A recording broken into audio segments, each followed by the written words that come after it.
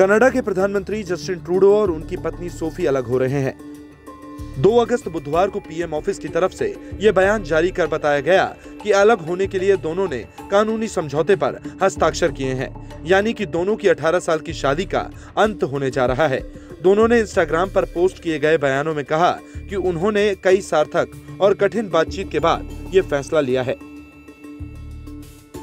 Canada प्रधानमंत्री कार्यालय के बयान में यह भी कहा गया कि दोनों ने कानूनी समझौते पर हस्ताक्षर किए। दरअसल दोनों की शादी 2005 में हुई थी। उनके तीन बच्चे हैं। इनमें 15 साल की जेवियर 14 साल की एला ग्रेस और 9 साल के हेड्रिन शामिल हैं।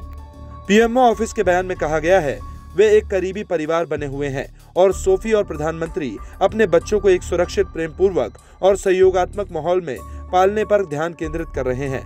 अगले सप्ताह से परिवार छुट्टियों पर एक साथ रहेगा। बता दें, जस्टिन पियरे, जेम्स ट्रूडो एक कैनेडियाई राजनेता और पूर्व शिक्षक हैं, जो नवंबर 2015 में कनाडा के तेईसवें प्रधानमंत्री बने।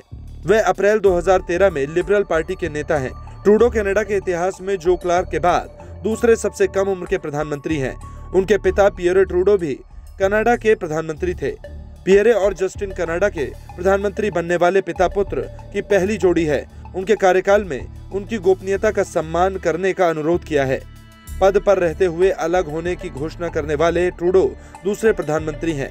उनके पिता पियरे ट्रूडो ने उन्नीस में अपनी पत्नी मार्गेट से अलग हुए थे और उन्नीस सौ चौरासी में दोनों ने तलाक ले लिया था।